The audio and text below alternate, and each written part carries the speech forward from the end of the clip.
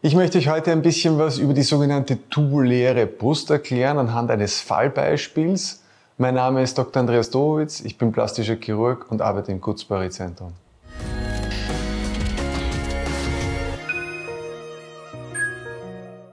Wenn wir uns jetzt diese Patientin anschauen, dann sehen wir, diese Brust hat Merkmale einer tubulären Deformität. Zum einen einmal ist dieser untere Brustpol relativ kurz, das heißt, dieser untere Brustpol ist nicht entfaltet. Zum anderen äh, ist der Warzenhof so, dass er ein bisschen aus der Brust rausploppt und wir sehen, die Brust ist auch ein bisschen spitz. Das sehen wir dann vor allem auch in der seitlichen Ansicht etwas besser. Für die operative Planung gibt es jetzt einige Dinge zu berücksichtigen. Das erste, was einmal wichtig ist, ist, dass der untere Brustpol verlängert gehört. Das heißt, wir müssen die Unterbrustfalte zu dieser blauen Linie hin senken. Das zweite ebenso wichtige ist, dass man die Brustdrüse entfaltet. Das heißt, dass man diesen Spitzenaspekt verlängert, indem man die Brustdrüse kehrt, beziehungsweise eine Faszie, die unterhalb der Brustdrüse liegt und dadurch geht die Brustdrüse wie eine Ziehharmonika auseinander und wird oben unten einfach länger. Und auch wichtig ist das richtige Implantat. In der Regel verlangt eine tubuläre Brust ein tröpfchenförmiges Implantat. Warum? Das will ich auch noch ganz kurz erklären. Dieser untere Brustpol ist ja unterentwickelt, das heißt, er ist nicht so prominent wie der obere.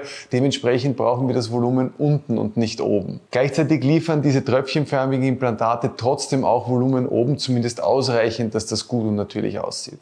Wenn wir uns das jetzt nach der Operation anschauen, dann sehen wir, die Brust ist also komplett umgeformt. Diese Haut unterhalb der Unterbrustfalte, der alten Unterbrustfalte, wurde sozusagen zu Brusthaut gemacht. Das heißt, die Bauchhaut wird zur Brusthaut gemacht. Die untere Brust ist jetzt plötzlich länger, so dass wir eine normale Erscheinungsform dieser Brust haben. Wir schauen uns das jetzt noch kurz mal in der Seite an. Da sieht man also diese spitze Form mit dem Warzenhof, der so rausploppt. Das ist also nachher alles behoben. Dieses Foto ist jetzt sechs Wochen nach der Operation und auch auf der anderen Seite sieht man das schön. Ich hoffe, das Video hat euch ein bisschen geholfen in Bezug auf die Entwicklungsstörung der tubulären Deformität. Es würde mich freuen, wenn ihr Kommentare schreibt und es würde mich auch freuen, wenn ihr unseren Kanal liked.